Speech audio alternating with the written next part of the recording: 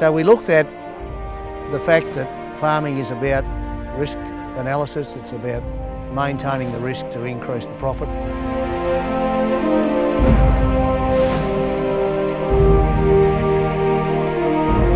The response we've had on Moisture Manager has been fantastic.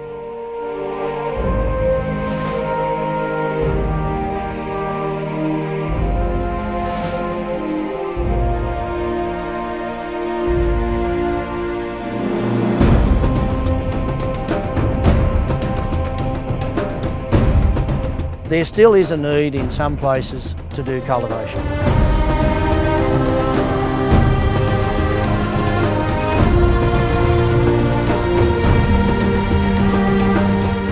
And so we saw a need to have a parallelogram planter which could follow the contour of the soil and place the seed at precisely the right depth regardless of the soil profile.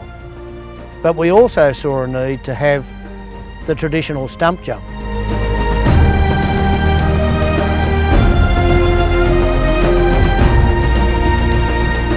Ninety percent of our farming now is zero till and a little bit of minimum till. This machine will go through heaps of trash, conserves moisture, saves money because spraying's cheaper than, in most cases, cheaper than working it, saves erosion in this country.